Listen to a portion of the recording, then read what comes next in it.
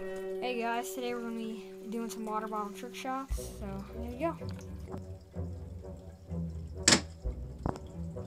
Giant shoe flip.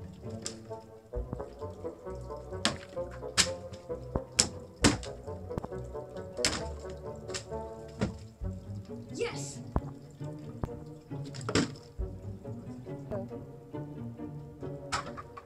Yes! Yeah.